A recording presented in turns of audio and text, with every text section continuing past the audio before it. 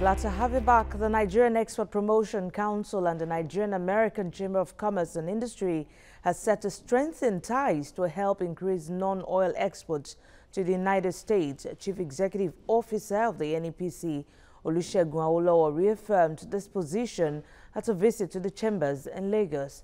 Business correspondent to Ogunjobi reports.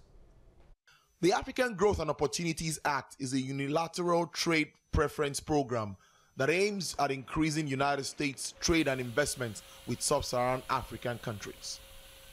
Data from the United States Department for Economic and Regional Affairs reveals that Nigeria accounted for a paltry volume of about $9 million out of $2.7 billion agricultural exports recorded by the continent to the United States in 2017.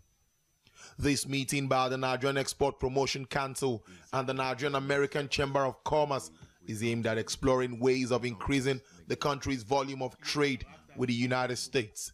There is need to have a more senior representation on the AGOA committee at the Ministry of Trade here. So we would like to crave your indulgence to support us since this will be mainly private sector driven.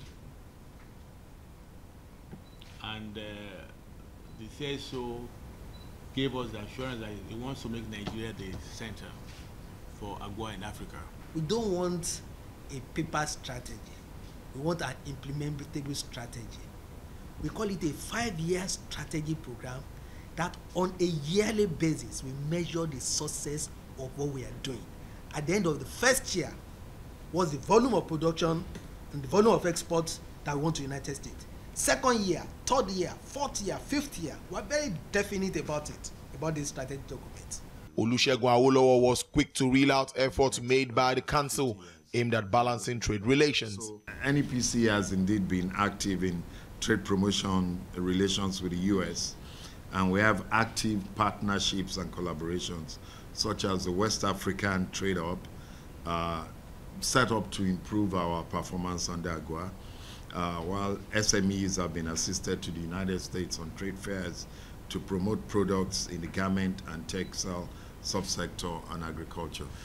Both parties agreed that Nigeria is not doing very well in non-oil exports and improving trade will help increase foreign direct investment.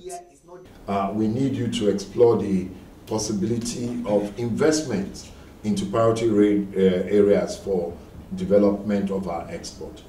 Mr. President, Nigeria has been a good receiver of FDI, particularly from the United States of America. But the FDI that has come has gone into the financial services, it has gone into uh, telecommunications. We need more investments in manufacturing and industry. The skill gap is so bad that look, somebody wants to make a shirt and he cannot repeat the shirt because he did it all alone from color to the impressive to everything. So we started a, a, a, a, a bridge gap program.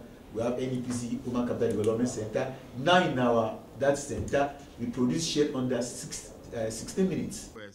The NEPC also reiterated its commitment to working with relevant stakeholders to help develop a strategy that will help Nigeria benefit more from the act. Tolulope Ogunjobi, TVC News, Lagos.